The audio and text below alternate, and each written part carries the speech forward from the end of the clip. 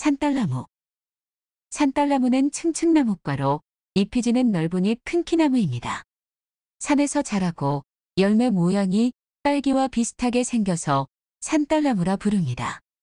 잎은 마주나며 달걀 모양이고 뒷면에 털이 많으며 끝은 뾰족하고 가장자리는 물결 모양입니다.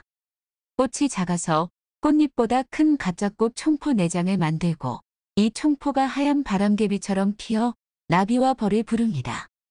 열매는 빨갛게 익으며 생김새뿐만 아니라 살과 즙이 딸기와 많이 비슷해서 새들이 좋아하는 먹잇감이 됩니다.